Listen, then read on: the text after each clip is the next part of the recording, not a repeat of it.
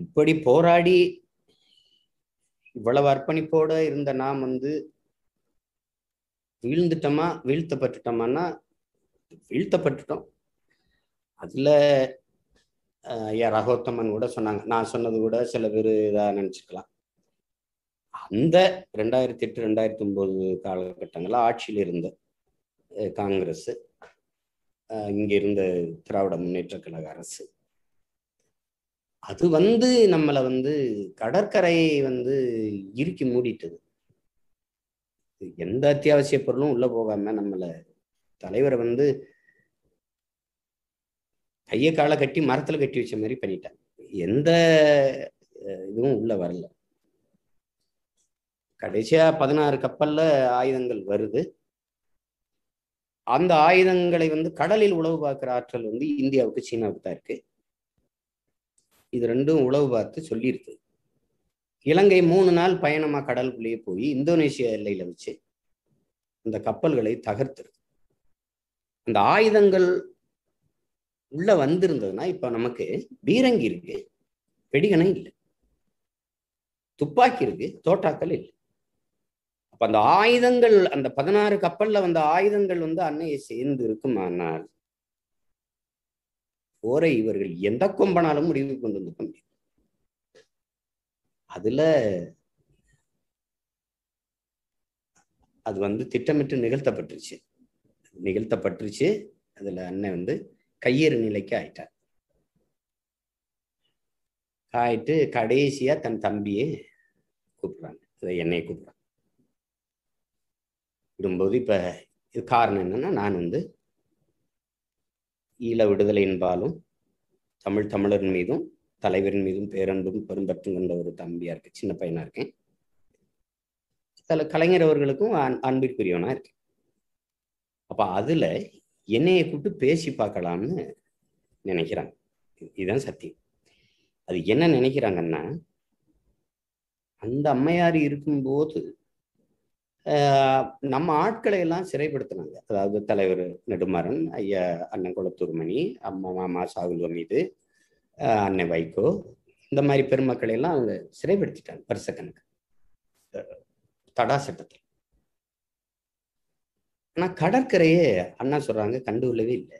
என்னையே தொந்தரவு செய்யலைன்ற அதை ரொம்ப கவனிச்சுக்கணும் நீங்க. இப்ப என்னைய தொந்தரவு செய்யலை. அப்ப அந்த இடத்துல நம்ம வந்துட்டாரு அப்படின்னு நான் நினைக்கும் போது இவர் வந்து கடற்கரையை இறுக்கி மூடிட்டாருப்பா இது எங்க பேசுறோம்னா ஒரு பங்கர் பதுங்கு குழிக்குள்ள இவருங்க இருள் மின்சாரம் இல்லை ஒரு சின்ன கை விளக்கு டார்ச் அதை வந்து அந்த போராளியை வைங்கன்றது அவர் திணறது நீங்க கொடுங்க அப்படின்னு அண்ணன் தரையில ஊண்டி அப்படி மேல அடிச்சு பரப்பிட்டுறாங்க வெளிச்சத்தை. எப்படி எப்படி பாருங்க. அப்ப அந்த இடத்துல வச்சு சொல்றாங்க. நீங்க பேசி பாக்குறீங்களா? கடற்கரையில ஏதாவது ஒரு ஓரத்தை தளர்த்து சொல்லி கேட்டு பாருங்களேன் தமிழினத்தின் தலைவர்னு சொல்றாங்களே அவரை. அப்படின்னா எனக்கும் சேர்த்து அவர் தானே தலைவர். அப்ப நான் கஷ்டப்படுறது அவர் விரும்புறாரா? அப்படின்னு கேக்குறேன் இதுல நினைச்சு பாருங்க. இப்ப இருக்கிற முதிர்ச்சி இப்ப இருக்கிற நிதானம் எனக்கு இல்லை அப்போ. நான் ரொம்ப எங்க அண்ணனையே ஒரு வியந்து பார்த்துக்கிட்டு இருக்கிற ஒருத்தன் கண்ணீரை தவிர என்னிடத்துல ஒரு பதிலும் இல்லை. அப்போ அவர் நினைச்சா நமக்கு செய்யலாம். ஆனா செய்ய மாட்டாங்க. செய்ய மாட்டாங்க. ஏன்னா எனக்கு பிடிக்காது. நான் எம்ஜிஆர் ஆளுன்னு அவங்க கருதுவாங்க.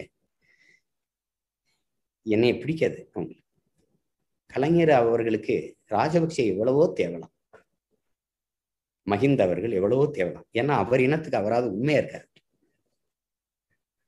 அண்ணன் பேசின சத்திய வார்த்தைகளை நான் பேசுறேன். இதை நீங்க விமர்சிங்க விமர்சிக்காம போங்க ஏற்றுக்குங்க. ஏத்துக்குங்க. இதுதான் சத்தியம். அப்ப வந்து பேசலான்னு பேசி பார்க்கலான்ட்டு நான் வரும்போது என்னை சந்திக்கல அவர் மறுத்துறார் அதுல தான் எனக்கு இவர்கள் நமக்கானவர்கள் இல்லை நம்ம இனத்துக்கானவர்கள் இல்லை. முதல்ல விடுதலையே இவர்கள்ட்ட இருந்து தான் நமக்கு தேவைப்படுதுங்கிற முடிவுக்கு நான் வந்ததுக்கு காரணம். நான் இந்த இயக்கத்தை தொடங்கி இதை வலிமைமிக்க அரசியல் ஆற்றலாக மாத்தணுங்கிற வெறி எனக்கு உருவானதுக்கு காரணம் அது ஒண்ணுதான் காரணம். அப்படிப்பட்ட சூழல்ல நாம வந்து மே பதினெட்டு. எந்த ஆஹ், நாளில் என் இனம் விழுந்துட்டது எங்கள் கொடி இறங்கிட்டது என்று உலகம் கருதிச்சோ சிங்களர்கள் கொக்கரிச்சார்களோ அந்த நாளிலேயே எவ்விடத்தை வீழ்ந்தோம் என்று கருதி நீருள்ள உலகத்திலே அவ்விடத்தை நாம் எழுந்தோம் என்பதை காட்டுவதற்காக மே பதினெட்டை குறித்து நம்ம மதுரையில ரெண்டாயிரத்தி பத்து மே பதினெட்டு இந்த இயக்கத்தை தொடங்கணும். இதை தொடங்கி இதை ஒரு மாபெரும் அரசியல் இயக்கமா ஆரம்பிச்சோம். அதிலிருந்து இதை தொடர்ச்சியா கட்டமைச்சிட்டு வரோம். இதுல நிறைய உங்களுக்கு தெரியும். வருபவது போபவர் இருப்பாங்க விமர்சிப்பவர்கள் இருப்பாங்க. எதிர்பார்ப்போடு வந்து ஏமாந்து திரும்பி போவர்கள் இருப்பாங்க. ஆனால் நம்முடைய நோக்கம் ஒன்றுதான் அதை சொல்லியாச்சு இலக்கு ஒன்றுதான் இனத்தின் விடுதலை. இனம் ஒன்றாகும் இலக்கை வென்றாகும் இவ்வளவுதான் நம்ம கோட்பாடு. உடலினை உறுதி செய் அறிவை விரிவாக்கு கொள்கை வகுத்தினில் கூடி செயல் செய்ய பழகு. இதுதான் நம்ம கொள்கை. இப்ப இதுல தொடர்ச்சியா நம்ம செய்து கொண்டு வாரோம். நாம் தமிழர் பிள்ளைகள் செய்து வாரோம். கடந்த பத்து ஆண்டுகள்ல எளிய பிள்ளைகள் நாம் தமிழர் நிலத்தில் ஏற்படுத்திய அரசியல் தாக்கத்தை எந்த அரசியல் இயக்கமும் செஞ்சதில்லை. அதில் அதில் உங்களுக்கு மாற்று கருத்து இருக்க முடியாது. சிறுக சிறுக நம்ம வளர்ந்து வந்தாலும் வளர்ந்து கொண்டிருக்கிறோம் அதை யாரும் மறுக்க இயலாது.